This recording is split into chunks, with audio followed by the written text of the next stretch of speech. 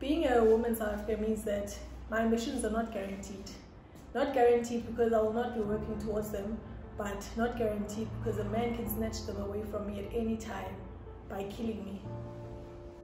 Being a woman in South Africa is powerful but vulnerable at the same time because you are given this gift of being a woman, but no one is appreciative or respectful of the fact that you are a woman.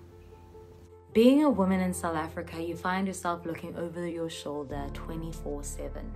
You find yourself having to educate yourself in order to keep yourself alive.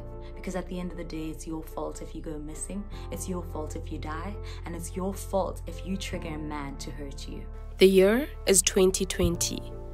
We are live in a crime scene which is located in South Africa. South Africa is going through a femicide and a gender based violence crisis. Femicide is basically the killings of women and children, specifically by a man because of her gender. Women and children in South Africa are also being killed and raped every day. A woman in South Africa is murdered every three hours. 50% of South African children will be abused before the age of 18. The silence of the country regarding the killings of women and children is very loud. Martin Luther King spoke no lies when he said that there comes a time when silence is betrayal. I repeat, South Africa is in a crime scene. One in three South African women will be raped at least once during their lifetimes. A woman is murdered every three hours in South Africa. That's five times higher than the global average for femicide. And of those killed, there's a 56% chance that a woman will have been murdered by her own partner. South African Institute of Race Relations estimates that 40% of South African women are going to be raped at least once during their lifetimes. Welcome to South Africa, where the lives of women, trans women, and children are not catered for. South Africa is where you find women constantly fearing for their safety. Whether they are indoors or outdoors, it's not safe anywhere. South Africa is where you find women constantly praying that they make it through the day because every day is not promised that they will make it out alive. South Africa is where you find women constantly alerting their loved ones about their whereabouts in case they are in danger. South Africa is where you find women thinking twice about their outfits in fear of being raped, killed, or kidnapped. However, the woman's outfit is really no longer why they are killed, raped, and kidnapped. South Africa is where you find women being killed, raped, and kidnapped because of their mere existence of being a woman. South Africa is where you find women being very kind to men in fear of being killed by men because of how they may speak to them. South Africa is where you find women fighting alone in a battle of femicide and gender based violence.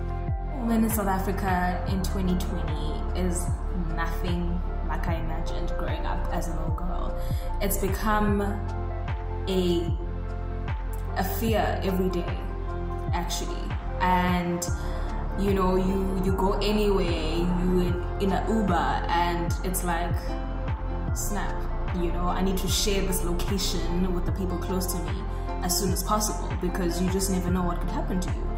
And honestly at this point i'm not too sure what the way forward is to protect our women and our children in south africa but it's it's cause for concern at this point it's been for a while actually what it means to be a woman in South Africa is that you're living in constant fear um, because you're a target not only to people who you don't know, but also people who you are familiar with. These people can rape, murder, um, or kidnap you for a large amount of money um, just because you are a woman.